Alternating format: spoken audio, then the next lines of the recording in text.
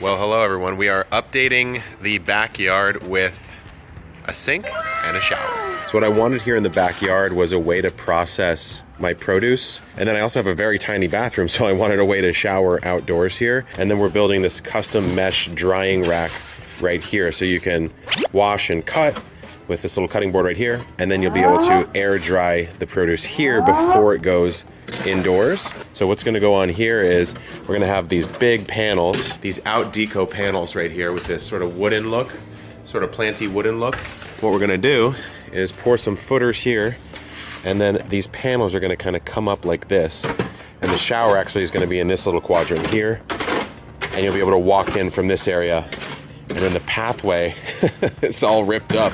It's gonna go right down through here. So I know we have talked about the coop, we've talked about the compost bin and the pavers. There's so many different projects. They're all happening at pretty much the exact same time, which definitely makes it challenging to film, but I'm gonna try to cover it and give you guys as much info as I can as far as why I'm doing it the way I'm doing it, how much it might cost, how you could do this at your own homestead. So let's keep going. So here's the sink that I've chosen. It's from Kraus. Absolutely massive. It is huge. It's 31 inches across.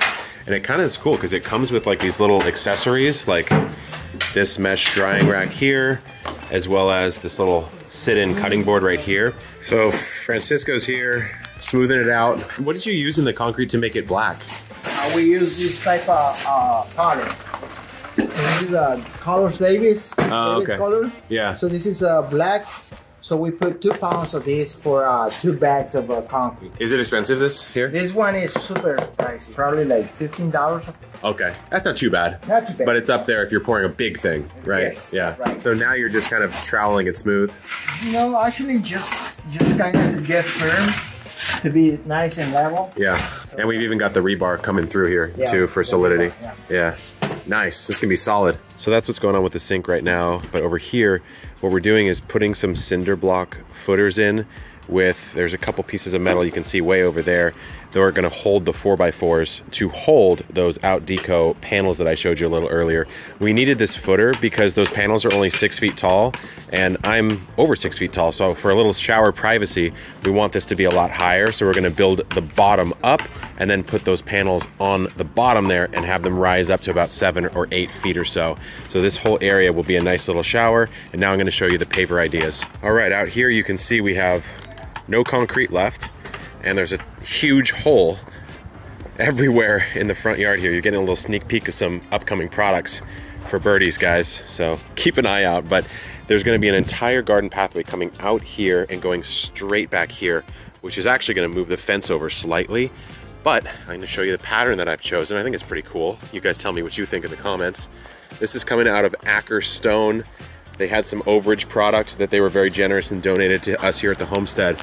But I wanted this kind of classic older look without having to lay each individual cobble. So you have this five piece here and it's solid on the bottom. And then you just arrange that in a pattern like this. And then I wanted kind of like a modern edging. So we use this sable black concrete paver here to kind of edge this side. And there'll of course be another one on that side. So I think it looks pretty cool. You come on, nice little cobblestone coming straight through as you get in through this gate here. Whoop, and just zipping straight back. All right, the pour is done on the sink. So you can see where the sink's framed out here. And then this is the slot for the mesh drying rack. So what's cool is on this edge, I can build something that's a wire drying rack. I can put another cutting board in here. So I can make it a completely flush surface if I want, but it also has some fall through capabilities if I do want some airflow here. And then I'll update you on what's going on here. So the way we decided to do this, instead of doing it with pure concrete, because it was so expensive, we went with cinder blocks that were gonna stucco, and then we used these somewhat expensive metal brackets here. The price of those pretty much doubled, so they're quite expensive. But this is gonna be the shower area. You'll kind of walk in through this area right here. And then we're gonna have to make sure that we seal this whole area off. You don't want water falling towards your house. And we'll probably dig a drainage ditch out this way over towards that tank. And then from there, I can decide what I want to do with all the water that's coming out. Okay, we've removed the sides of the forms. And then Francisco, how do you actually smooth this out? You gotta use the the trowels Yeah. to smooth it, smooth it out. So first of all, you gotta kind of get everything together straight, And then from that point, you little by little, you're gonna start trowing, doing the trowing, Yeah. so that way you can get the, the finish of the trowel.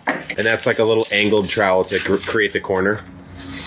Oh yeah, look at that. Yeah, that's Quarter perfect. inch radius. Perfect. So this is the tri- tricky part, you know what I mean? This is where it requires the craftsman's hands. That's right.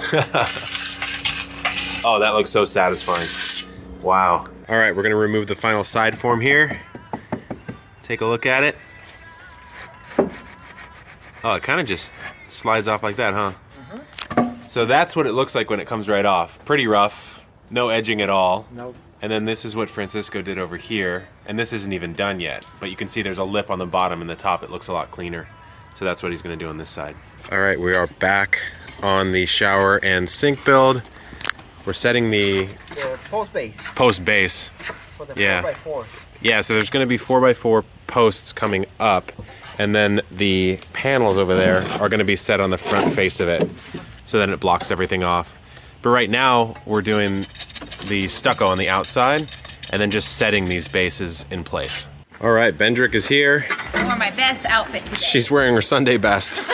Uh, so we've got all this stuccoed out for the most part, just the, the first coat. We're gonna do a, a more significant coat later, a smoother coat. And then the bottom of the sink just got framed out with the cinder blocks. Uh, so that's in. And then this gives me the ability then to, in the future, build a face to this if I want to. yeah. Uh, whatever you want to do, just I think wood would look really nice because we have so much. Yep. And we could use the uh, wood from the fence over there. yeah. as like you think of a- color, by the way. I think the color looks amazing. yeah. So it's yeah. gonna fade a decent amount, by the way. That's fine because I think right now it's it's kind of dark. If It's it gets a little dark. lighter, it's Yeah. it's nice. You could seal it to keep it uh, darker for longer, but this dark, dark color uh, tends to fade out. Maybe I would expect it to be like half this dark. Yeah, Like and I'll probably end up sealing it off. All right, it's time to put the sink in. Francisco's just lining up a bead of silicone around the edge here. Yeah, we just wiped this down, so it's sanded and wiped down. It's nice and smooth now.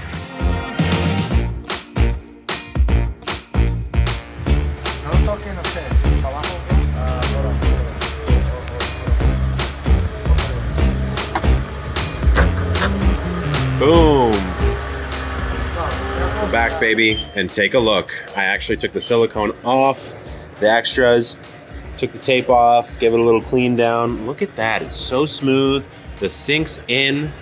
Got this fancy little thing. I don't know, this came with a sink. Very cool. But the thing to talk about today is the pads. The pads are going down. So you're gonna have three pads here to kind of hang out, elevate this up a little bit because I made that quite tall. And then in here, the forms have been placed and they're starting to pour the concrete for the shower. So what's interesting is if you're doing the color, you put the uncolored concrete below and then you just put the color on top, little top coat, I think it's called. You can see the drains in there. That drain's gonna run out and come over here. And the decision point is what do you do as soon as you get to here? Do you hook it into my gray water system, which you guys who've been following Epic Homesteading for a while know about? That pipe right there goes straight out to the citrus over here. So do you bring this in and hook it into this system? Or do we say, you know what, I want to create a different pocket and we hook it over maybe on this side or somewhere over there? Okay, Francisco. El Rey del Concreto. Negro. Del Concreto Negro. Well, not anymore because he's spraying this top cast on here, which he said was milk, but of course you're joking. It is uh, what what is actually going on there, Francisco? Actually, we just put in some uh, concrete retarder Yeah. on top of that. So, Yeah. so that way tomorrow we can come back and wash it out and it's gonna give us the finish or the same finish on top of the surface of the concrete. Okay. So it's like a etching type of thing, or yeah, It's the etching. and you just spray it on like that and leave it, Yes. and then wash it off tomorrow. Yes. Huh. That's amazing. So the last time we checked in, they had put the acid etch on these steps here. So I want to show you how pretty it looks. Take a look at what we did here. It kind of shows off some of this grain in the concrete. It's this nice dark color. We also did it to every part of the shower steps as well. So those have all been revealed. And we're looking more or less at structurally complete shower. I also threw in this incredible sink faucet and the sink is in. Plumbing still not connected yet. The last piece of stonework that has to happen is the final coat of stucco on both the shower walls and the sink. But after that, it's the woodwork it's the stone pebbles that are gonna go in between and how we're gonna plant in between all these paver bases.